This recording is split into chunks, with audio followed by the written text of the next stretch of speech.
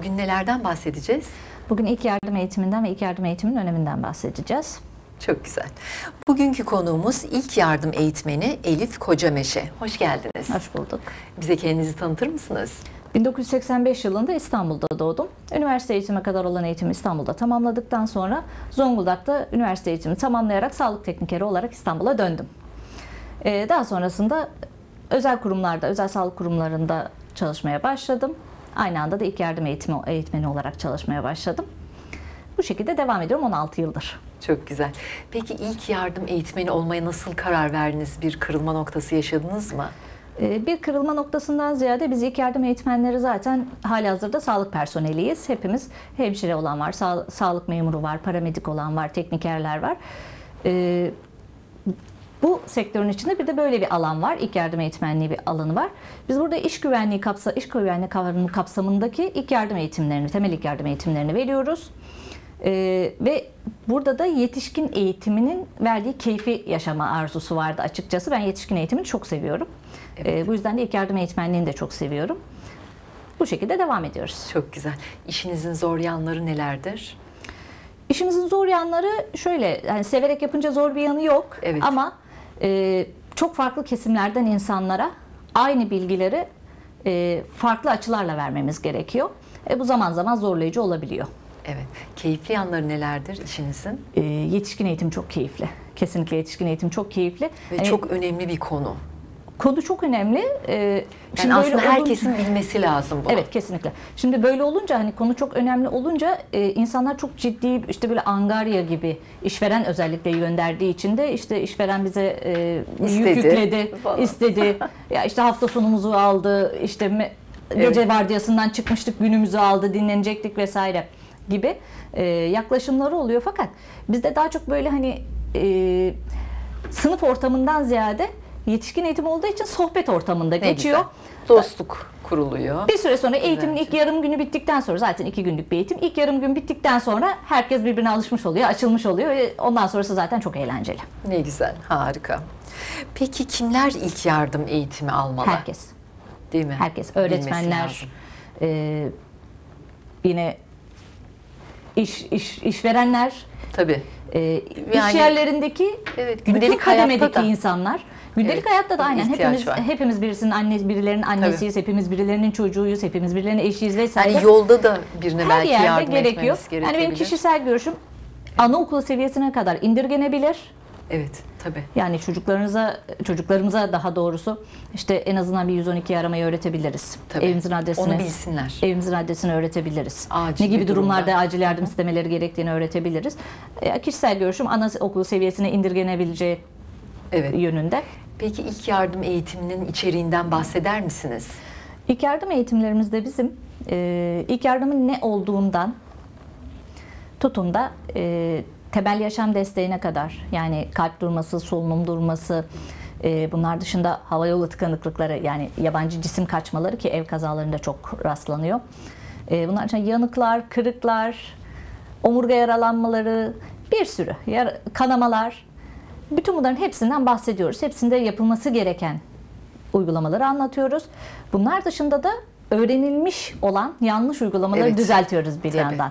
En basitinden bahsetmem Lütfen. gerekirse burada da e, bir burun kanamasında mesela bizim çocukluğumuzdan beri burnu, burnu kanamalarında Evet. direkt kafa yukarı kaldırılırdı. Evet. E, biz bunu kafayı aslında öne eğilmesi gerektiğini e, düzeltmeye çalışıyoruz. İnsanların zihnindeki yanlış olan şeyleri de düzeltmeye çalışıyoruz. Evet. Peki böyle yabancı bir cisim veyahut da mesela yemek yerken kemik gibi bir şey Evet. yuttuk. O zaman ne yapmamız gerekiyor?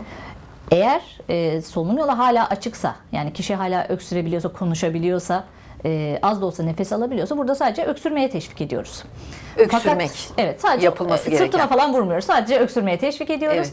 Bunun ötesinde tamamen tıkanma meydana geldiyse, kişi morardıysa, bize işte boğuluyorum diye işaret yaptıysa e, vesaire. Burada da hemlik manevrası dediğimiz bir manevra var.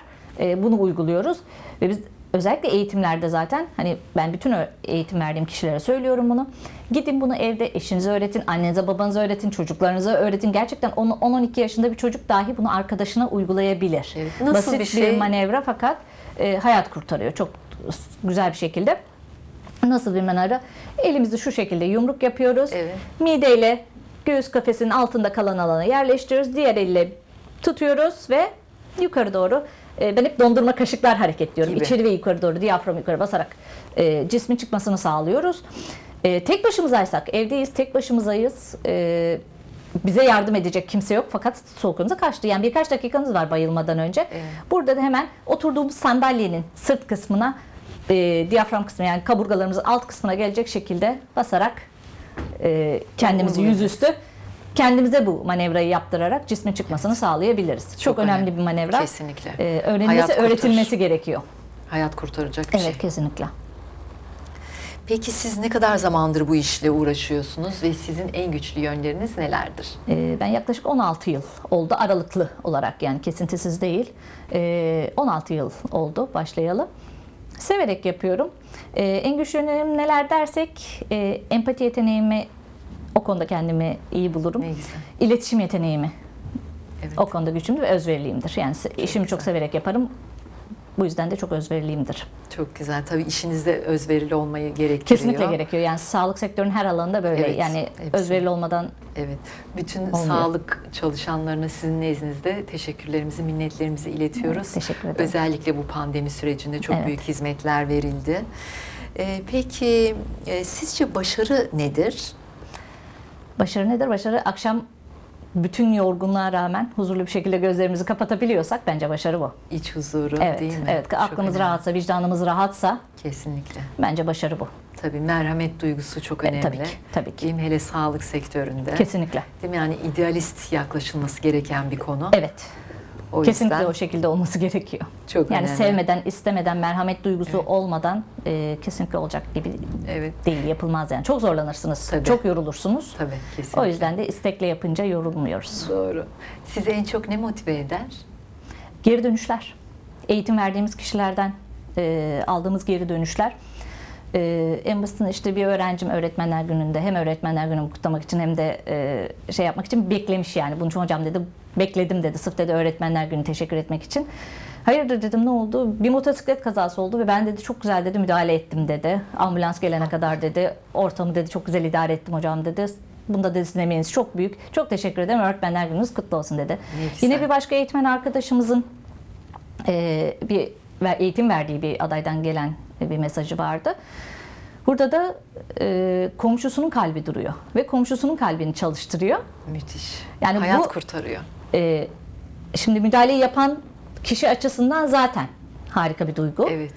O kişiye onu öğreten eğitim eğitmen Evet. açısından zaten müthiş Esas bir gurur kaynak kaynağı. burada.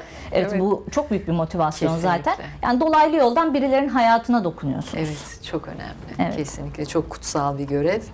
Ee, peki bugüne kadar ki sizin en büyük başarınız neydi? Çocuklarım. ne güzel, onları da güzel yetiştirdiniz. Evet, evet. Topluma faydalı olacak Evet. şekilde. Harika. Son olarak izleyicilerimize iletmek istediğiniz bir mesajınız var mı? Ee, ilk yardım eğitimlerinden kaçmasınlar. Özellikle işverenler yönlendirdiği zaman Evet, e, mümkün olduğunca gönüllü olarak gelsinler. çok önemli. Biz çünkü elimizden geleni yapıyoruz. Ya buna sadece iş gözüyle bakmasınlar. Hayatlarının her anında her zaman çok işlerine yarayacak güzel şeyler öğretmeye çalışıyoruz. Tabii. Ee, o yüzden de bunu kesinlikle bir zorlama olarak, bir angarya olarak görmesinler. Böyle bir eğitim şansı elde ederlerse gelsinler. Hatta imkanı olanlar bireysel olarak da bu eğitimleri alsınlar. Tabii gündelik hayatta ihtiyacımız olabilir. Başkasına yardımcı olabiliriz veyahut da kendimiz için Kesinlikle, kullanabiliriz. kesinlikle. O açılardan çok Evet. hayati önemi olan bir Evet. konu. Bugünkü konuğumuz ilk yardım eğitmeni Elif Kocameşe'ydi. Katılımınız ve bu güzel ve önemli açıklamalarınız için çok teşekkür Ben ederiz. teşekkür ederim. Rica ederiz. Değerli izleyiciler, sağlıklı ve mutlu günler dileriz. Tekrar görüşmek dileğiyle. Hoşçakalın.